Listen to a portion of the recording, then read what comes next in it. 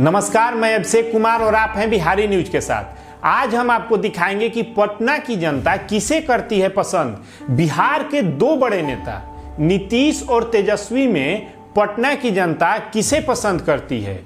पटना के अलग अलग जगहों से हमने जानी आम जनता के मन की बात। आइए देखते हैं क्या बोली पटना की आम जनता। नीतीश और तेजस्वी। में दोनों में आपको ऐसे कौन पसंद? देखिए तेजस्वी यादव अभी नौजवान हैं। अभी उनके पास पूरा समय है।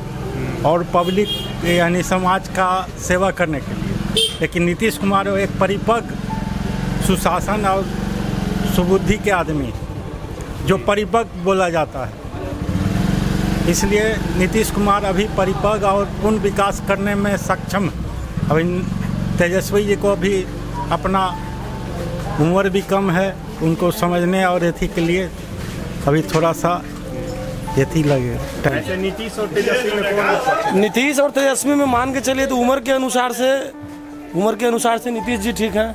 ऐसे तो तेजस्वी युवा है तो आने वाला समय में वो भी बढ़िया हो सकता है। अच्छा ऐसे नीतीश और तेजस्वी यादव।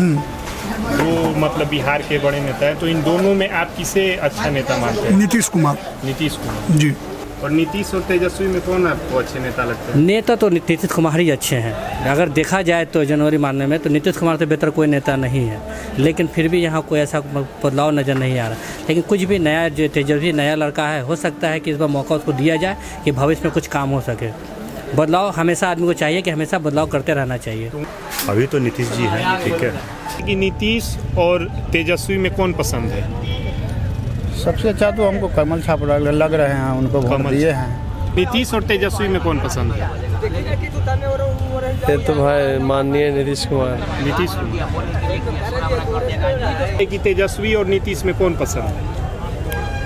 व्यक्तिगत तो नीतीश जी पसंद है नहीं लेकिन पार्टी के चलते तो देना ही है ना। एनडीए गठबंधन में इसलिए? इसलिए। नीतीश और तेजस्वी की बात किया जाए तो इनमें बिहार में कौन किनकी सरकार अच्छी है? हम लोग तेजस्वी को समझते हैं अच्छा क्योंकि हाँ हम लोगों के लिए कुछ घोषणा भी किया गया है।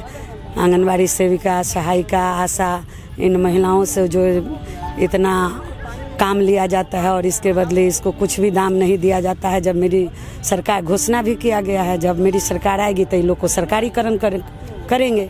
इसलिए हम लोग समझते हैं जो ये बीस साल से तो बिहार में है नहीं आएगा युवा है युवाओं को भी सम्मान करेगा महिलाओं को भी सम्मान करेगा हम लोग को ऐसा